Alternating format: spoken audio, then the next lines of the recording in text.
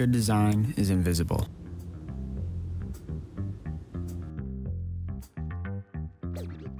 The best products disappear into everyday life. They even have the power to define an entire generation.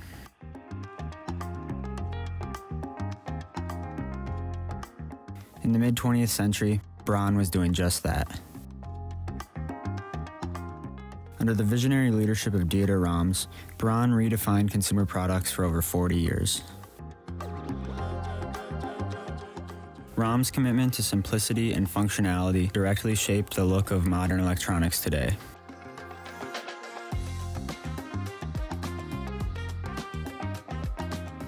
But there's one Braun creation that really caught my attention. One that I don't think many people, including myself, have ever seen before. The HL1 desk fan. Designed by Reinhold Weiss in 1961, this fan was an icon of the Braun products lineup.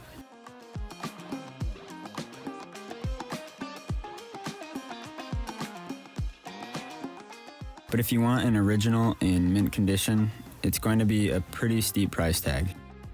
And there's no fun in just buying one. And so that's how this project began.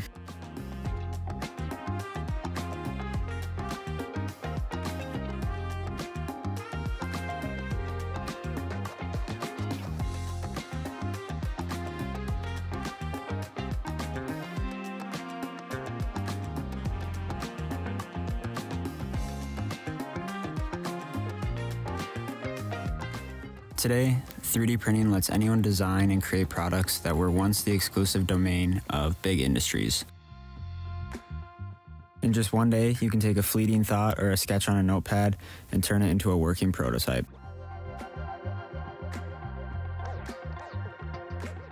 That said, I have a bit of a love hate relationship with 3D printing. It's a powerful tool, and it's the very reason I was able to make this video. But in my opinion, it also comes with a certain level of responsibility. And with these printers becoming more popular and more user friendly, I've been seeing a lot more junk getting mass produced by people with print farms. On one hand, I do understand people are just trying to make a living, but it's really hard for me to get behind when a lot of the stuff being sold is just low quality toys made with low quality plastic.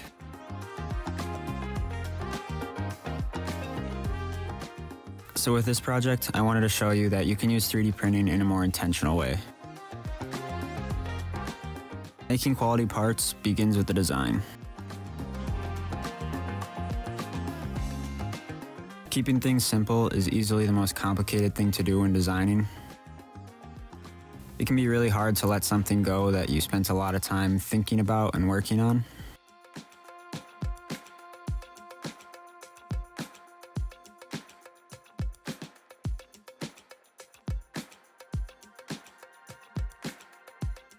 When designing 3D printed parts, I'm usually thinking about print orientation the most. I'm sure most people have seen a plastic snap hook before. So snap hooks are designed to slightly flex, and if you were to print the hook vertically, it's probably going to snap immediately along the layer lines.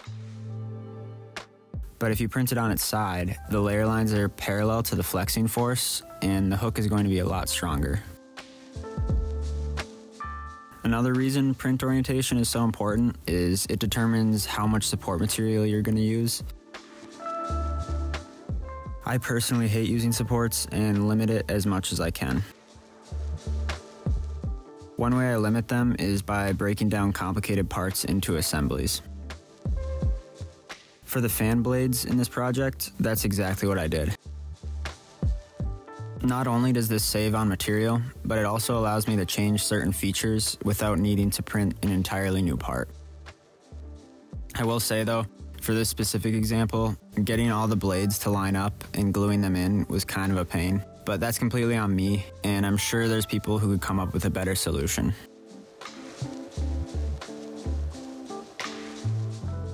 But if you're someone who's interested in designing 3D printed parts, just try to be very intentional with your design process and always consider the limitations of your machine.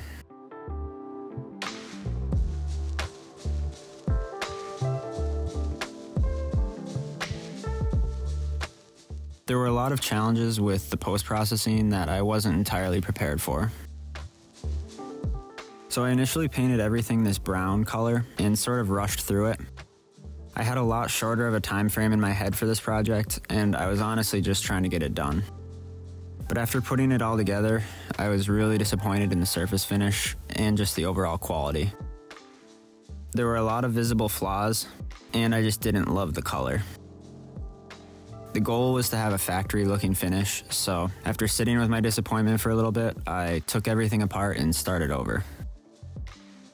From this point, it took about two weeks to get all of the parts painted properly. And a quick side note, there are a lot of different ways to get a smooth finish with 3D printed parts. I used PETG filament, which doesn't have many options, but there are other plastics out there that you can get smooth with significantly less effort. Ideally for this, I would have used a resin printer, but all I have is my little Ender 3, so that's where we're at. I'll try and quickly summarize this process because I don't want to bore you with too much detail. The original brown paint acted as a base primer, and I took this time to touch up some of the imperfections caused by my printer. For that, I used some automotive body filler. After sanding the filler smooth, I started the painting process for the second time. It was a pretty repetitive process that didn't take a whole lot of effort, just a lot of time. And before applying the final coat, I wet sanded it up to 2500 grit just to get it as smooth as possible. If you're doing anything like this, take the 24 hour cure time with a grain of salt. I made the mistake of completely trusting that and accidentally had two parts basically weld themselves together. The main takeaway from the finishing process is that patience is the key to getting a proper finish, at least with spray paint. Oh, and I desperately need to get a new printer. The Ender 3 is slow and it requires a lot of tuning. I lost a lot of time in this project because of my printer consistently acting up. But that brings me to the final challenge of this project. I'm not exactly sure when I decided to make the base the same as the HL70, but I sort of wish I hadn't. Acrylic forming is something I've never done before, and it took quite a bit of trial and error. I initially tried to do it all by hand, using whatever I had, but to do it right, or at least somewhat right, I had to make a few tools. The first one was this hot coil for bending. When you apply a current to the coil, it heats up, ensuring you get an even and consistent bend line on the acrylic. It was fairly easy to make, but I'm not going to go into that because there are plenty of videos out there, and it's at least a little dangerous. For the curved piece, I made a negative mold out of plywood and just heated it up and pressed it in.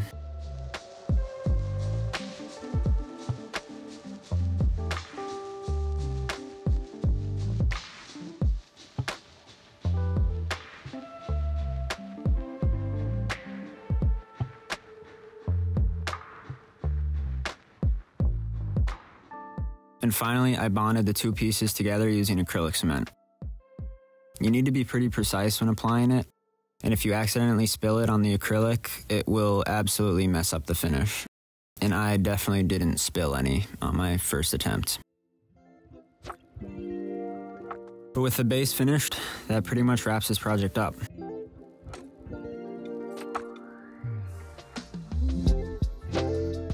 I won't lie, it really started to suck at some points, and it felt like there was an infinite amount of steps to get it completed. This project taught me a lot about patience and the importance of keeping your designs simple. With the very limited resources I had, I was able to create something that I will use for a very long time. And if something breaks, replacing parts won't be too hard since I'm the one who designed them.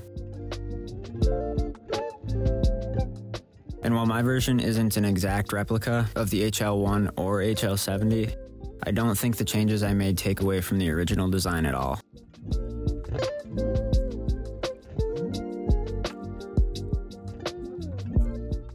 Hope is that after watching this video, you see a slightly different side to 3D printing, one that's more focused on making real high quality parts that will stand the test of time.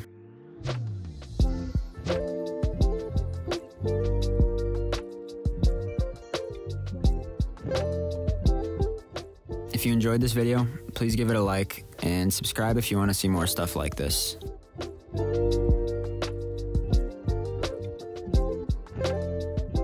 But that's all for now. See you next time.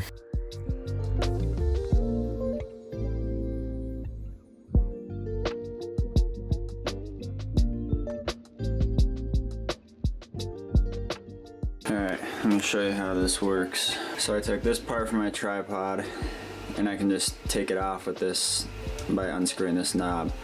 But this basically clamps to the pipe. I can slide it along it wherever I want. And then this swings out because it is rotating on that. Go right here and just tighten it up. And then this doesn't move at all. Quick and easy little overhead camera mount.